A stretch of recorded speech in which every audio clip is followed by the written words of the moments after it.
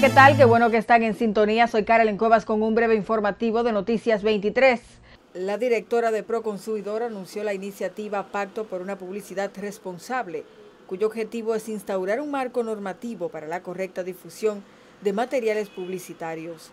Todavía se presentan situaciones que pudieran generar no solamente confusión al consumidor, sino también pérdida de los beneficios económicos, pérdida del tiempo y sobre todo un gran desengaño porque entienden que lo que les fue ofertado era un engaño.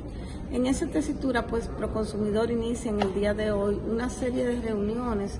Anina del Castillo agregó que el proyecto será fruto del consenso. En una hora esperen más información, no se despegue del televisor.